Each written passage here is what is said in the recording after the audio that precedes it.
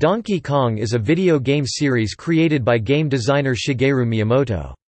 It is published by Nintendo, with entries in the series developed by Nintendo, Rare, Namco, Retro Studios, and Paon. The series debuted in 1981 with the arcade game Donkey Kong, which was a sales success that brought Nintendo into the North American market.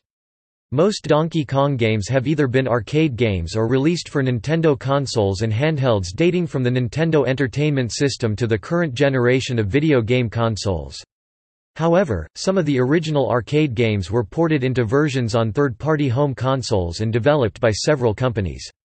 Donkey Kong is among the best-selling video game franchises, with more than 48 million games sold worldwide. Most of the games in the franchise are platform games, although the series also includes other genres such as racing and rhythm games.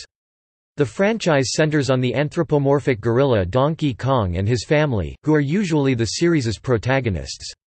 Many of the Donkey Kong games use supporting characters throughout gameplay, allowing the player to control different members of the family. The success of the series is commonly attributed to its technical innovation and entertaining platforming sequences.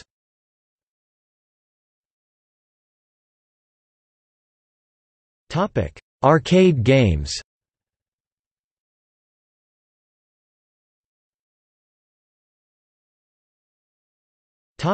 Home console games